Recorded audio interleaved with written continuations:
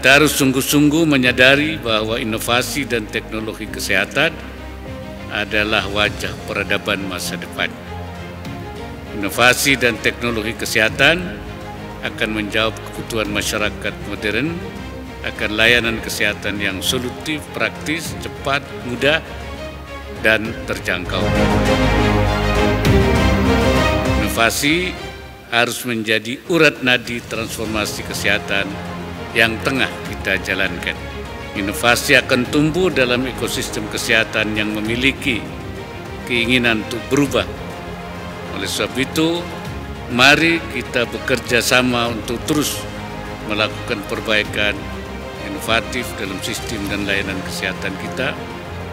Jangan sampai sistem kesehatan kita gagal memenuhi kebutuhan masyarakat dan kalah dalam persaingan.